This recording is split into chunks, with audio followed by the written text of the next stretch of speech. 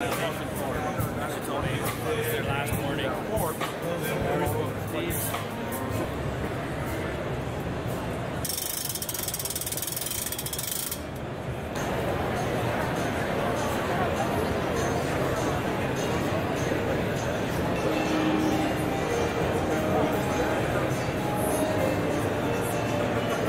We're Jackery and we make solar generators and this product is a concept product. It's our um, our Mars Solar Bot. So um, it's a, a, winner of the Time Best Inventions Award and we're really excited to be showing it today. It moves around, um, it's portable and it collects sun that way. Um, what it really does is it helps push forward what we're trying to do with um, making solar power not only um, you know futuristic and really pushing the uh, category as a whole, but also a lot of our products right now, you know, are, are different panels.